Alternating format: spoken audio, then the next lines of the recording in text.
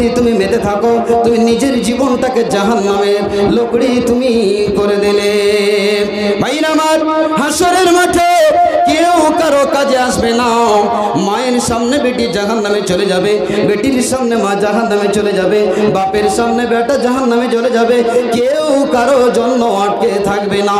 আল্লাহ তাবারক ওয়া বলছেন, বান্দারে যেমন পৃথিবীতে আমাল করবে, ওই আমলের প্রাপ্য, ওই আমলের প্রতিদান মহান আল্লাহ আমি হাসরের মাঠে তোমাকে আমি দেব।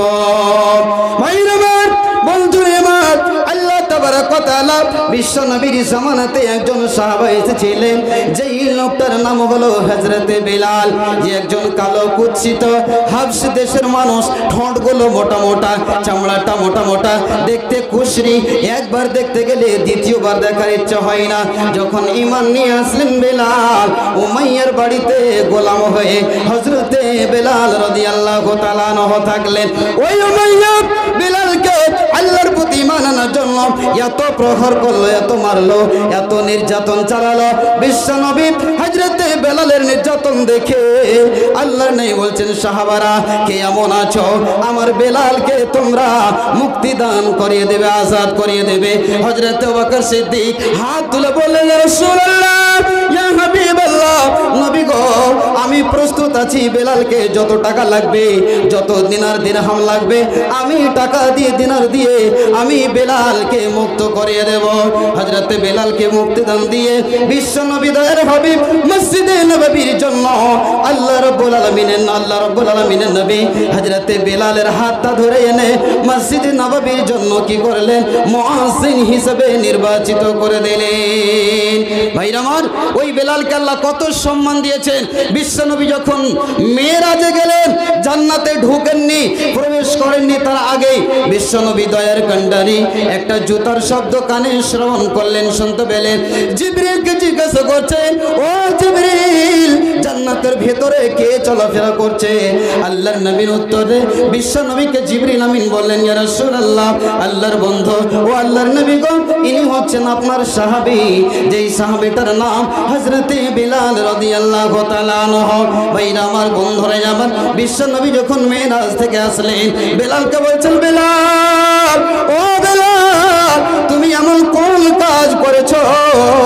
আমি মেয়েরাজে গেলাম।